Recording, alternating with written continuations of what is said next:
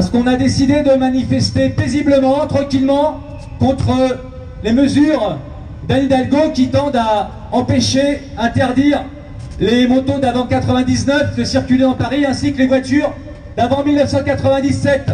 Il faut continuer à rouler parce que ces mesures elles sont complètement antisociales dans la mesure où on va permettre à des gens de rouler en fonction de leurs moyens. On en revient au Moyen Âge où euh, les villes étaient interdites aux pauvres. Merci de votre attention. On va partir dans pas très longtemps.